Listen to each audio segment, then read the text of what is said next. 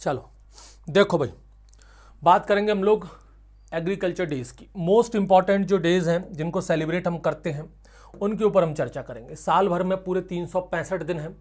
हर दिन कुछ ना कुछ सेलिब्रेट किया जाता है, लेकिन एग्रीकल्चर डेज़ कौन कौन से सेलिब्रेट किए जाते हैं, जो एग्रीकल्चर से रिलेटेड हैं, उनके ऊपर अपन चर्चा करेंगे। क्योंकि वहाँ से डायरेक्ट क्वेश्चंस पूछ लिए जाते हैं। तो वो देख लेते हैं अपन इंपॉर्टेंट एग्रीकल्चर डेज़ कौन कौन से हैं। देखो भाई महीने टू महीने कवर करेंगे। पहले जनवरी, फिर फरवरी, फिर मार्च, अप्रैल, मई, जून, कौन कौन से दिन किस किस महीने में आते हैं, उनको देखते जाएँगे। सबसे पहले बात करें हम यहाँ पर जनवरी की। जनवरी में एज सच कोई इंपॉर्टेंट एग्रीकल्चर डे है नहीं। फिर भी कुछ तो बता दो सर, एक तो पढ़ी ले। तो आप लिख सकते हो, एक जनवरी का ही है। वर्ल्ड ट्रेड ऑर्गेनाइजेशन जो डब्ल्यूटीओ है ना, वो डे आप बना सकते हो। आपकी मर्ज़ी, आप चाहो तो लिखो, मत लिखो, याद करो, नहीं करो, कोई मतलब नहीं है। लेकिन फिर भी लिख लो, खाली छोड़ने से अच्छा ही है। फ़र्स्ट जनवरी। एक जनवरी को एक तो हम नई साल बनाते ही हैं, हर साल। ठीक है, इसके अलावा World Trade Organization, W T O day भी हम लोग बना लेते हैं। ठीक है, आ जाओ भाई, दूसरा है फेबररी। फेबररी में है इंपॉर्टेंट हालाँकि उतने भी ज़्यादा इंपॉर्टेंट नहीं है, लेकिन ठीक है इंपॉर्टेंट तो है। एक तो दो फरवरी और एक अट्ठाईस फरवरी।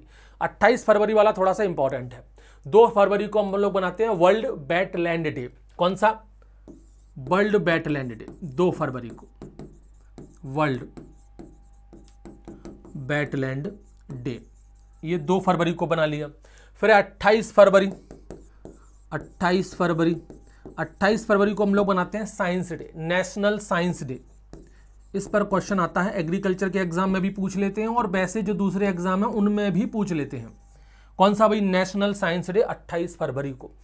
ये आप लोगों का एक होमवर्क है, ठीक है? कमेंट सेक्शन में मुझे बताइएगा। क्यों मनाया जाता है? इस दिन ऐसा क्या हुआ था कि हम लोग नेशनल साइंस डे बनाते हैं? कब? 28 फरवरी को। चलो भाई, फरवरी से आगे बढ़ें। आते हैं अपन। फरवरी के बाद आता है मार्च। ये इंपॉर्टेंट है मार्च। मार्च में आपको सबसे ज़्यादा दिन देखने को मिल जाएँगे सेलिब्रेट करने के लिए।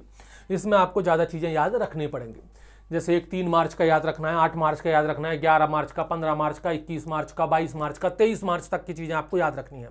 तो सबसे पहले हम बात करें यहाँ पर तीन मार्च। तीन मार्च को क्या सेलिब्रेट किया जाता है? वो लिखो। वो है आपका Wildlife Day. World Wildlife Day.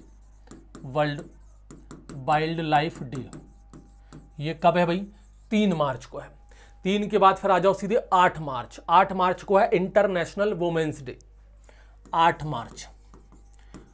आठ मार्च को है इंटरनेशनल वुमेन्स डे। इंटरनेशनल क्या कर रहे हैं भाई? इंटरनेशनल वुमेन्स डे ठीक है वुमेन्स के ऊपर ना अपन तीन चार दिन पढ़ने वाले हैं, पूरे साल भर में वुमेन्स को लेकर के इंटरनेशनल वुमेन्स डे हो गया। एक रूरल वुमेन्स डे आएगा, एक एग्रीकल्चर वुमेन्स डे भी आएगा। तो कुल मिलाकर के आई थिंक तीन है, पूरे साल भर में वो आपको पढ़ने हैं। उसमें से एक तो ये है इंटरनेशनल वुमेन्स डे जो आठ मार्च को है। इसके बाद फिर आ जाओ अपना ग्यारह मार्च। इसको भी याद रखो, इतना ज़्यादा तो ठीक है, लेकिन लिख लो इसको भी। ये है Resource Day Water Resource Day Water Resource Day ठीक है? इसको भी रख लेना याद आ जाता है क्वेश्चन इसके ऊपर भी। 11 मार्च को वाटर रिसोर्स डे 11 के बाद फिर आ जाओ 15 मार्च। 15 मार्च को है Consumer Day World Consumer Day World Consumer Day कब? 15 मार्च को। उसके बाद फिर आ जाओ अपना 21 मार्च। ये बड़ा इंपॉर्टेंट है, इस पर लगा दो आई एम पी इक्कीस मार्च। 21 मार्च को फॉरेस्ट डे बनाया जाता है। World Forest Day. World Forest Day. कब बनाते हैं भाई इसको? 21 मार्च को। उसके बाद फिर आ जाओ आपका 22 मार्च। 22 मार्च। ठीक है? 22 मार्च को हम लोग बनाते हैं। Water day. आईएमपी लगा देना इस पर। World Water Day. ये भी बड़ा इंपॉर्टेंट है। World Water Day. और एक और रख लो याद 23 मार्च। इस दिन बनाते हैं हम लोग मिटीरोलॉजिकल डे 23 मार्च। तेईस मार्च को हम लोग सेलिब्रेट करते हैं World Meteorological Day. World Meteorological. World Meteorological Day. कुछ लोग इसको डायरेक्ट मेट्रोलॉजी भी कह देते हैं। मेट्रोलॉजी भी कह देते हैं। ठीक है, बोलने में ठीक है, मेट्रोलॉजी। वैसे मिटियोरोलॉजिकल जो वर्ड है वो एकदम सही माना जाता है। ठीक है, अब आ जाओ भाई, अप्रैल। अप्रैल में क्या भाई? एक तो 22 अप्रैल याद रखो और एक 24 अप्रैल याद रखो। दो दिन याद रखने हैं आपको। सबसे पहले हम बात करें 22 अप्रैल की। 22 अप्रैल काफ़ी इंपॉर्टेंट है। इस दिन मनाते हैं हम लोग अर्थ डे। हालाँकि लोग लिखते हैं इसको वर्ल्ड अर्थ डे है, लेकिन मेरी समझ में ऐसा है कि अर्थ के आगे वर्ल्ड लगाने की क्या ज़रूरत है भाई? अर्थ तो अपने आप में ही अर्थ है। उसमें तो वैसी पूरी दुनिया की तो वर्ल्ड लिखने की ज़रूरत क्या है? फिर भी लिखते हैं तो लिखो भाई अपन भी वर्ल्ड अर्थ डे। फिर उसके बाद आ जाओ अपना एक चौबीस। चौबीस अप्रैल भी लिख लो। इसमें पंचायती राज, अपने भारत में जो पंचायती राज है, वो इस दिन से शुरू हुआ था। पंचायती राज डे इसको कहते हैं हम लोग। पंचायती राज डे। ठीक है, चौबीस अप्रैल को। एक मिनट भाई, चलो कोई नहीं। आने दो, अभी तो कॉल किसका आ रहा है? अप्रैल हो गया। अप्रैल के बाद फिर अपना आता है क्या? जून। मई में है, मई में कुछ नहीं है, छोड़ दो। मई को खाली छोड़ दो, जून में चलते हैं हम सीधे। जून में चलते हैं। जून में आपको दो दिन याद रखने हैं। एक जून को याद रखना है और पाँच जून का याद रखना है। इंपॉर्टेंट कौन लगता है? भाई एक मिनट जरा। रुकोगे जरा? एक मिनट। चलिए, छोड़ो। हाँ भाई, हम बात कर रहे थे किसकी? जून की। जून में आपको दो दिन याद रखने हैं। एक तो एक जून याद रखो और पाँच जून याद रखो। दोनों ही बड़े इंपॉर्टेंट हैं। पहला देखो भाई, एक जून। लगा दो सबसे पहले तो आईएमपी बड़ा इंपॉर्टेंट है। इस दिन बनाते हैं हम लोग मिल्क डे अब मिल्क डे भी दो बनाए जाते हैं, एक वर्ल्ड लेवल पर और एक नेशनल लेवल पर। दोनों पे बच्चे कंफ्यूज होते हैं और दोनों से ही क्वेश्चन बनते हैं। एक जून को जो हम बनाते हैं वो हमारा है वर्ल्ड मिल्क डे कौन सा है भाई? वर्ल्ड मिल्क डे ठीक है, और एक नेशनल मिल्क डे और है। वो 26 नवंबर को बनाते हैं। अभी देखेंगे, आएगा आएगा नवंबर भी। ठीक, ये तो हो गया एक जून। उसके बाद हम बात करें पाँच जून। पाँच जून वाला भी बड़ा इंपॉर्टेंट है। इस दिन मनाते हैं Environment Day World Environment Day World Environment Day ठीक है, इस दिन सेलिब्रेट किया जाता है वर्ल्ड एनवायरमेंट डे ठीक है भाई, जून के बाद फिर आ जाओ भाई अपना जुलाई। जुलाई में देख लो, जुलाई में आपके दो या तीन है। तीन याद रखो आप। एक तो 11 जुलाई को याद रखो अच्छा है ये भी पॉपुलेशन डे है। आपका बहुत बड़ा योगदान है, हम सबका इसमें बहुत बड़ा योगदान है World Population Day World Population Day, ये 11 जुलाई को है। उसके बाद 12 जुलाई को आ जाओ। 12 जुलाई को है नाबार्ड दिवस। नाबार्ड नाबार्ड डे है। और एक 16 जुलाई 16 जुलाई को तो हम एग्रीकल्चर वाले सभी जानते हैं। आईसीएआर का फाउंडेशन डे है इस दिन। आईसीआर की स्थापना हुई थी इस दिन। ठीक है? तो ये आईसीआर का फाउंडेशन डे है। अरे यार, क्या दिक्कत है भाई, रुको। ठीक। तो जुलाई हो गया। जुलाई के बाद अब आ जाओ सितंबर। सितंबर। कॉल के भी बड़े अजीब ही खेल हैं भाई।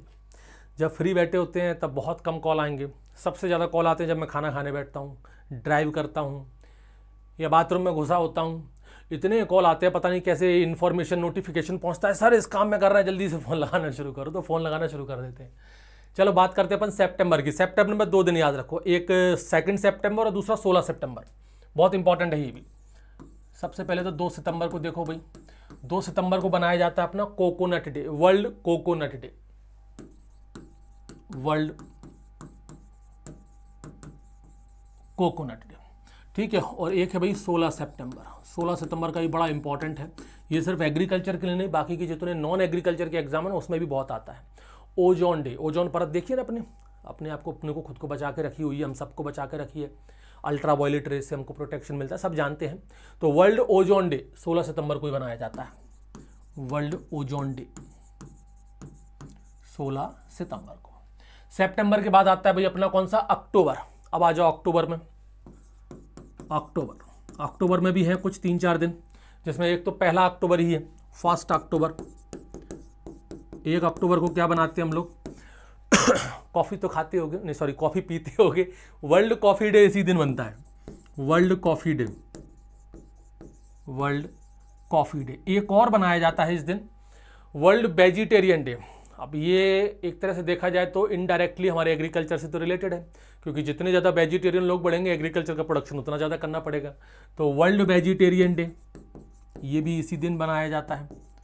वर्ल्ड वेजिटेरियन डे, एक अक्टूबर को। फिर आ जाओ भाई अपना चार अक्टूबर। चार अक्टूबर को क्या बनाते हैं हम लोग? उतना ज़्यादा खास इंपॉर्टेंट नहीं, लेकिन फिर भी याद रखो Animal Welfare Day World Animal Welfare Day चार अक्टूबर को। वर्ल्ड एनिमल वेलफेयर डे ये चार अक्टूबर को। जगह नहीं बची, अगली स्लाइड में चलते हैं। चार अक्टूबर के बाद फिर आ जाओ पंद्रह अक्टूबर। ये भी बड़ा इंपॉर्टेंट है। मैंने बताया था ना, महिलाओं के लिए कुल साल भर में तीन चार दिन है। एक तो निकल ही गया। एक ये है, दूसरा वाला, पंद्रह अक्टूबर, ये इंटरनेशनल डे है for the Rural Women's International Day International Day for the Rural Women's जो ग्रामीण महिलाएँ हैं, उनके लिए इंटरनेशनल लेवल पर बनाया जाता है। अक्टूबर हो गया। अक्टूबर के बाद अब आ जाओ नवंबर। नवंबर। नवंबर में क्या क्या याद रखना है? एक ही दिन है नवंबर में, बस वो याद रखना है आपको। अच्छा अक्टूबर में चाहो ना तो एक और लिख सकते हो। 16 अक्टूबर है। फ़ूड फ़ूड डे का है। लिख लो, चाहो तो आपकी मर्ज़ी है। 16 अक्टूबर, वर्ल्ड फ़ूड डे। वर्ल्ड, हटा देते हैं इसको। लिख ही लो इसको अच्छे से। World Food Day. ये 16 अक्टूबर। अब चलते हैं अपन नवंबर। और नवंबर में केवल एक ही दिन याद रखना है, जो मैं आपको पहले बता चुका हूँ। वो है मिल्क डे। मिल्क डे कौन सा वाला आपका? National Milk Day. एक तो मिल्क डे हम पहले देख चुके हैं, वर्ल्ड मिल्क डे। अभी जो मैं बात करने वाला हूँ, वो 26 नवंबर का है। 26 नवंबर को है। इस दिन बनाया जाता है National Milk Day. National Milk Day. और ये क्यों बनाया जाता है भाई? 26 नवंबर को ही National Milk Day. Doctor Varghese Kurien का नाम सुना है। Father of White Revolution in India, उनका जन्मदिन था। उन्हीं के जन्मदिन के उपलक्ष्य में मनाया जाता है नेशनल मिल्क डे 26 नवंबर। उसके बाद हम बात करें यहाँ पर दिसंबर। देखो, क्या हो गया? दिसंबर। दिसंबर में भी है कुछ तीन चार दिन और सबकी सब इंपॉर्टेंट है, जैसे कि एक तीन दिसंबर है, एक चार दिसंबर है, पाँच दिसंबर है, चौदह दिसंबर है, तेईस दिसंबर है, सब इंपॉर्टेंट है। तीन दिसंबर वाला लिखो सबसे पहले तो बड़ा इंपॉर्टेंट है ये भी। आईएमपी लगा दो, तीन दिसंबर अपने इंडिया के अंदर ही है, ये वर्ल्ड लेवल पर नहीं है। तीन दिसंबर के दिन नेशनल एग्रीकल्चर एजुकेशन डे ध्यान रखना, सिर्फ़ एजुकेशन डे नहीं है, ये नेशनल एग्रीकल्चर एजुकेशन डे है।